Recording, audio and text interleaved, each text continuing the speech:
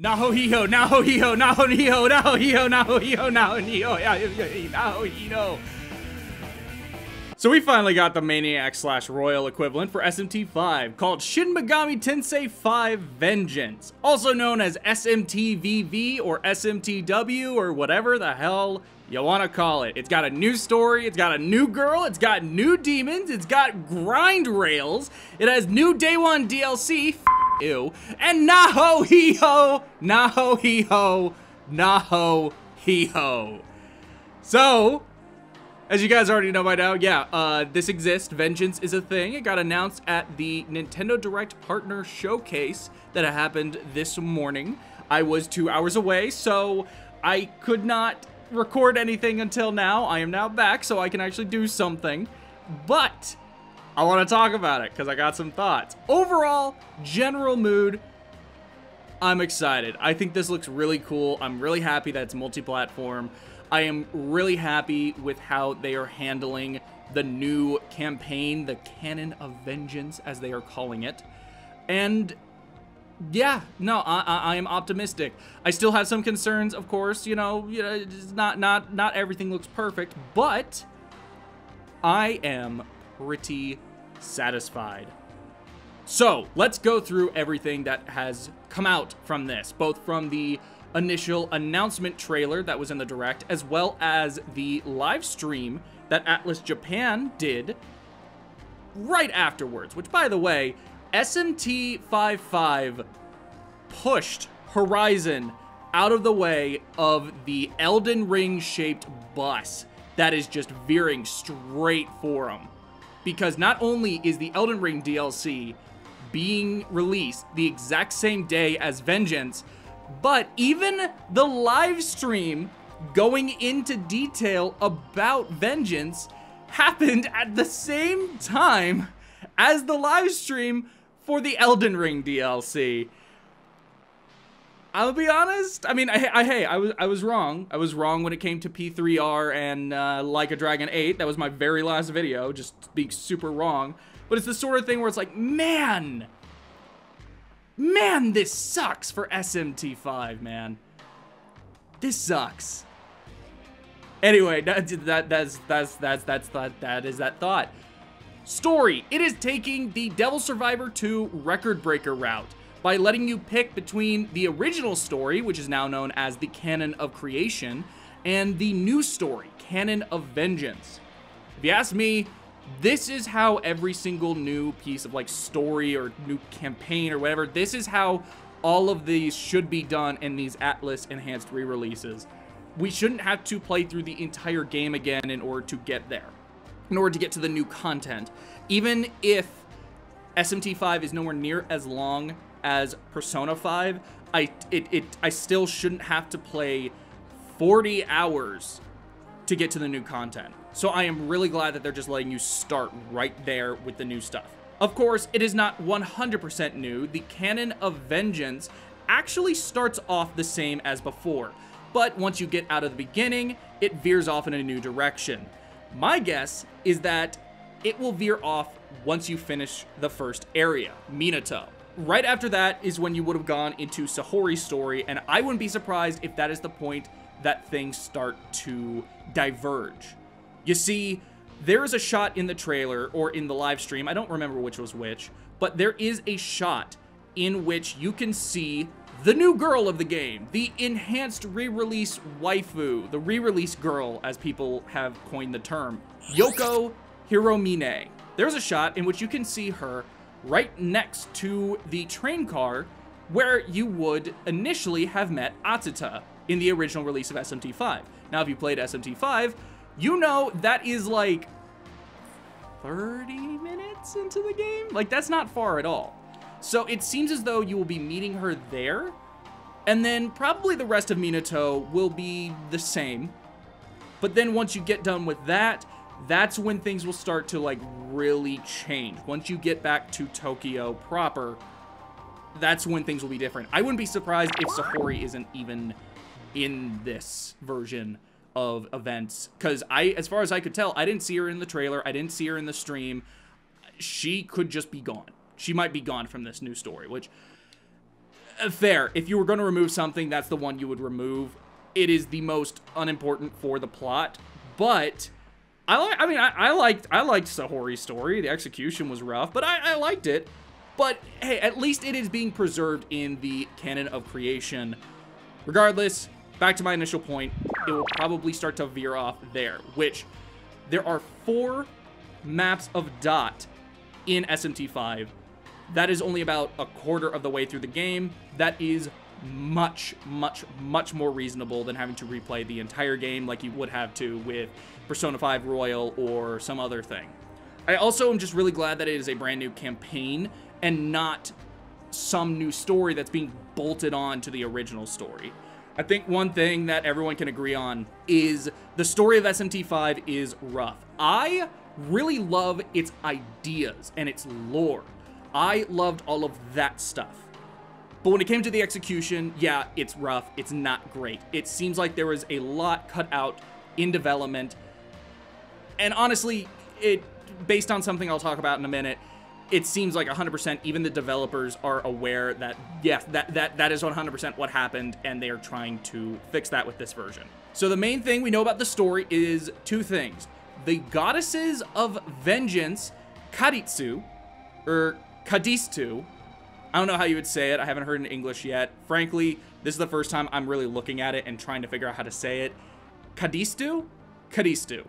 They're a mysterious group of demons led by Lilith, who is voiced by Caitlin Galt, who, most relevantly to Atlus fans, just played Miss Toriumi in Persona 3 Reload. Beyond that, as far as I could tell, she hasn't really done anything else for Atlus, but hey, it's always cool to see some quote-unquote new blood. You know what I mean. Another thing about Lilith is brand new design. It is not the Kaneko design. This is something new, brand new by Masayuki Doi. In fact, all of the goddesses of the Karistu are brand new designs, and I love them. I have not even really sat down to try and figure out who is who, but I don't care. These designs are great. I, I, I love them. I really, really, really love them. I am so happy with this. Masayuki Doi, I think for SMT5, just really excels. And like, I there's not a single design in this game that I find questionable or iffy or anything. It seems like the Qadistu, they are going to be the antagonist that will cause the story to change. So we'll see where that goes. We see a shot of them attacking the subway over in Shinagawa back in the real Tokyo. So that is probably where things will, will go down rather than Lahmu escaping into the real world and causing havoc, thus forcing you to go back into Da'at, it seems like it will be these four breaking into the real world, causing havoc, and then it will veer off in a completely different direction. As for the previously mentioned Yoko Hiromine, you meet her at the train car, like I said. She actually joins your party as a human party member, technically meaning playable comps, at least assuming she uses a comp. Actually, no, 100% yes, playable comps, because there's another shot during all of this footage that we now have, where you can see Atsuta is part of your party as well, and he 100% uses a comp. Now, Yoko here is voiced by Erin uh, Yvette, not good with names. She previously voiced Mia in SMT 5, and now SMT 55. Is this a spoiler? Is this a spoiler? It's is this just like Yo Yoko Yoko is Sophia, right? Is that what this means? Is that what this means? Because if so, uh, spoiler alert. Regardless, I like Yoko's design. I think she's really cute, but I also just think like she looks good. She looks good. I just really like this design. Like beyond the cuteness aspect, it, it, it, I just really like this. I am curious to see where this goes. Even if I do kind of groan at the re-release waifu, I don't know. First impressions with her are pretty good. Now, when it comes to the gameplay, we have quite a few details. First off, they're brand new demons. Both new new demons and new old demons. They are adding over 40 demons to this game. Some of which I will be getting into when I talk about the Day 1 DLC, but from what we're seeing, the new demons look really, really cool. We have a new area of Da'at. So if you might remember, every area in Da'at has kind of a distinctive color. When it comes to Minato, that area was very yellow. When it comes to Shinagawa, it was very red. When it came to the third area, it was very gray. When it came to Taito, it was very blue. This area is very lavender. I don't really have much more to say, but I think it is very pretty. It is really cool that there's going to be a fifth map what I loved so much about the exploration in SMT5 was just running around and the feel of movement of exploring and just seeing what's over here, what's over there. Oh, there's like some cool demons over here. There's like a side quest. There's something going on. I don't know, it felt very Xenoblade to me, and I was very satisfied with the exploration in that game. Another thing on top of a new area of Da'at is we are apparently getting a new dungeon Hopefully, it's better than the two dungeons that were in base SMT5. I like the the the blending of dungeon design with the overworld that they went for, the field gin, I guess you could say. But the actual dedicated dungeons, of which there was only two in SMT5, they were, uh, uh, let's just say, left a lot to be desired. Hopefully, whatever this new dungeon is, is a lot better. It actually feels properly designed. And It is not just a bunch of straight lines and, like, piss-easy puzzles. I don't know. Those are easily the weakest area of the game, but I, I, I like the field gen thing. I'm more excited for the new area of Da'at than I am the new dungeon, but we'll, we'll see how this goes. Obviously, combat, still the good old press turn system. All allied demons now have a unique skill, which, based on what they showed, seemingly these unique skills are all passive, but, you know, that's just a theory until we can see more. The reason why I think they are passive is because the ones they showed off, the three of them they showed off, they were all passive. So, yeah, it's probably passive. I did not get those translated. I don't know what they say. Hopefully, these things actually end up being worth a damn because it's a neat idea, but, you know, I don't know what they do yet, so hopefully. Now, the big thing for me in terms of the gameplay is, is that fucking fusion spells? fusion spells in a game that is not a remake of a game that already had them, like brand new, like just straight up. We see Jack Frost doing a really cool team up move. Is this fusion spells? Please tell me this is fusion spells. I love fusion spells so, so, so much. Please. A few other details, we have a new level cap of 150. You can speed up skill cutscenes, and by that I mean you don't just have to press the A button to skip them outright. You can speed them up to two times speed, three times speed. It, it set it up so that it skips them automatically, whatever. You can turn miracles on or off. There are items that let you reallocate your skills. I know some people might have some issues with that. I think it's just a quality of life thing. I don't think it's that big of a deal. Uh, save anywhere, to me, this feels unnecessary, not because I think, no, you shouldn't be able to do that or anything like that. It's more so, I felt like the leyline founts were plentiful enough and they were placed in the right areas. At no point did I ever feel like, oh man, I wish I could save at this point, or I could do this, or I could do that, or like, like there's not enough of them. I always felt like there was the right, like the perfect amount.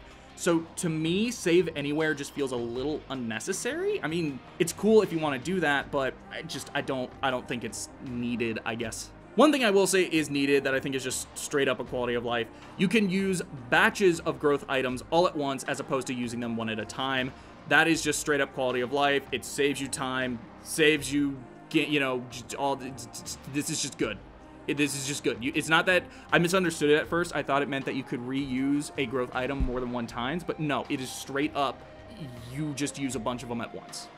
So earlier I mentioned that SMT5 the first time through took me 40 hours. Well, during the live stream, they said that the base game was 80 hours and that Vengeance now makes it 160, essentially doubling the playtime. Now, um, I beat it for the first time in 40 hours, 80 hours is not true. I do not believe that.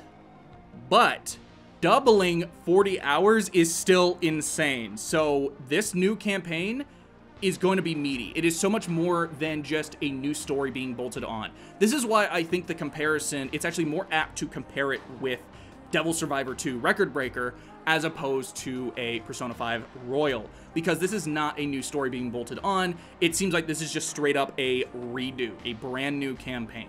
We also have some details about release info. Of course, as I mentioned previously, it's coming out the exact same day as Elden Ring, which sucks, but, I mean, it sucks for Atlus, but I will say, I am shocked that it's releasing so damn soon. It's releasing right in the middle of the year. I think this is perfectly paced, actually, for it to go alongside Persona 3 Reload and Metaphor ReFantazio. I think this is just paced super well. I'm curious to see how well this game does, especially with Elden Ring coming. But, eh, yeah, yeah, we'll, we'll, we'll see. As I mentioned previously, there's also Day 1 DLC. Fucking ew. But I, I do think it's cool that Dagda is back. The fact that SMT5 lacked Apocalypse Demons just felt like a glaring omission. I don't know why Dagda wasn't there. And frankly, I mean, as far as I can tell, I might be wrong here, but as far as I can tell, it's only Dagda. Where is Krishna? Where is... Uh, I can't remember any of the other ones. But you, you get what I mean. You get what I mean. Like, like, hopefully a lot of the Apocalypse Demons, even if I'm not the biggest fan of some of those designs, hopefully they get included. I'm just glad they're here. Dagda is a cool design. It might not be the best design for Dagda, but it's a cool one. There's another Day 1 DLC with Konohana Sakuya. Don't know what the hell that is in Shintoism, but it's more Day 1 DLC. Even if I like her design, still disappointed. There's a bunch of grinding DLC with Mitamas, you know, for Macca, for experience points, for, for, for this, for that, for just whatever. I don't like it, but this is just so standard at this point for SMT that seeing this just does nothing for me. At least the day one DLC from the original release is included, so that's something. Fucking Atlus, man. If you get the game on Switch, it lets you do a save transfer if you have the original SMT5. Now, conceptually, this sounds like, oh, maybe I should get the Switch version. And then you look at what you actually get for the save transfer, and then I'm like, nah, fuck that. Uh, no, that's not a good reason at all to get it on Switch. I'm getting this on PS5. All you get for it is a few bonus items, depending on what endings you cleared, which, if I remember correctly, that is what Apocalypse did if you had an SMT4 save file. And secondly, the other thing you get, and this is the pathetic part, you can carry over three demons from your compendium into the new compendium. Three. That is fucking pathetic. Why, why even do it at that point? No, fuck that. Fuck you. Why? why? I'm getting this on PS5. Screw the Switch version. I love the Switch, but like, man, no, no, I'm not doing that. To end things off, we got a director interview, or rather a Q&A, with the game's director, Shigeo Komori. The main thing I want to note is that Komori mentions that lots of ideas had to be dropped from the base game during development, which only confirms, you know, development hell that game went through, which I've been saying for a long time. But what's so encouraging is that apparently these dropped ideas became the driving force behind SMTVV that has me interested because I want to see what these dropped ideas were, because we kind of got a little glimpse of them in development interviews with Yamai in the past, where they talked about we want to tackle this issue, or that issue, or explore this theme, or whatever. And, like, none of that was in there. The only real, like, issue we explored was bullying. So I am curious to see what was it that got cut. We can kind of get an idea based on the trailer, where, like, there's a scene where you are sitting down and talking with Aogami in Da'at. It looks cool, looks interesting. Maybe it could actually flesh out these characters. I think when it comes to the story, again, the ideas and the concepts and the lore is all really good and really interesting. I love it a lot. The problem was the execution. I've been saying I would have preferred an apocalypse style thing, either with brand new lore or with a side story or something, because I don't think you could just bolt on a new story to the old one and make it good. However, what this is doing is a basically a redo. They're just redoing it. It's the same beginning, but then it veers off early on.